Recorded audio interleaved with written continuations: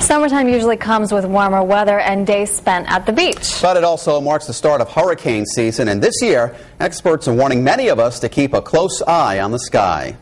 Meteorologist Pete Mangione has the story. That's new at 530.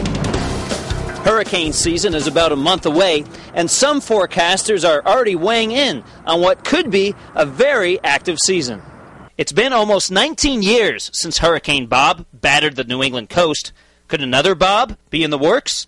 It's too early to answer that, but weather giant AccuWeather is predicting a very active season.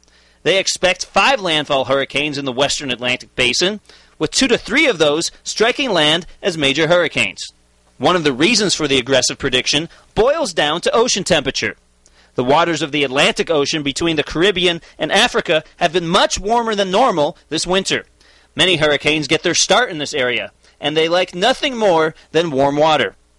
More hurricanes in the western Atlantic doesn't necessarily mean we will see a southern New England landfall, but it's a question which will continue to hang over us as we head into the hurricane season, which starts in June. Another reason for the predicted increase in hurricanes is a weaker El Nino.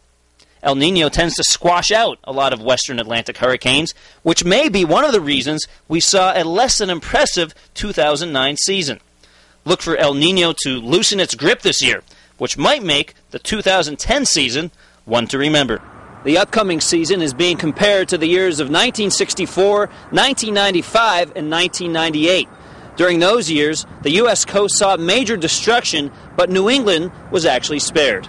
I'm meteorologist Pete Mangione, Eyewitness News.